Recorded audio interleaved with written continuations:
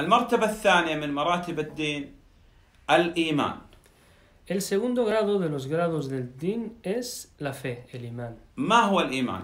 ¿Qué es el imán? هو قول باللسان كان يقول لا إله إلا الله El imán es algo que se dice con la lengua. Por ejemplo, no hay más Dios que Allah. واعتقاد بالقلب يعني هذا الذي يقول بلسانه الباطن يوافق الظاهر Y es algo que se cree con el corazón. O sea, lo que se dice con la lengua es algo que se tiene y se cree profundamente con el corazón. نعم ولا بد أن يعمل بهذا الذي قال وهذا الذي اعتقد يعمل بالقلب كأن يخاف من الله سبحانه وتعالى Y una vez que se cree con el corazón y se dice con la lengua, es importante y obligatorio llevarlo a cabo en acciones con nuestro cuerpo, como por ejemplo el temor a Allah subhanahu wa ta'ala. ويعمل بالجوارح يصلي يتصدق مثلا Actuar con el resto de los miembros, como por ejemplo rezar, eh, dar el zakat, eh, sadaqa y demás. نعم الإيمان يزيد بالطاعات El imán aumenta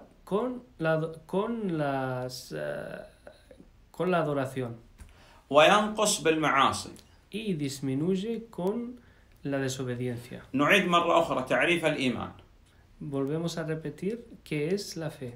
قول باللسان Es decirlo con la lengua, اعتقاد بالقلب creerlo firmemente con el corazón عمل القلب وعمل الجوارح y actuar con el corazón y actuar con el resto de los miembros del cuerpo. يزيد بالطاعة وينقص بالمعصية Aumenta con la obediencia y disminuye con la desobediencia. هذا الإيمان بناء يقوم على ستة أركان أركان الإيمان ستة El imán es una construcción que está basado sobre seis pilares. نعم فلا بد أن نأتي بهذه الأركان الستة حتى يقوم هذا البناء بناء الإيمان والله أعلم Y es obligatorio, importante, llevar a cabo estos seis pilares para que la construcción del imán se establezca.